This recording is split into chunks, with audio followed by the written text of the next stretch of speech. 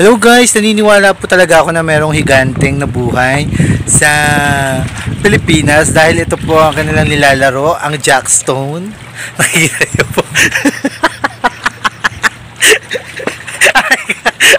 Ayan.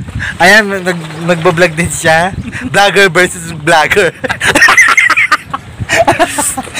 okay, okay. Ay, Oh, vlogger ay, versus... malapit na. Ayan, picture mo na kami. Okay.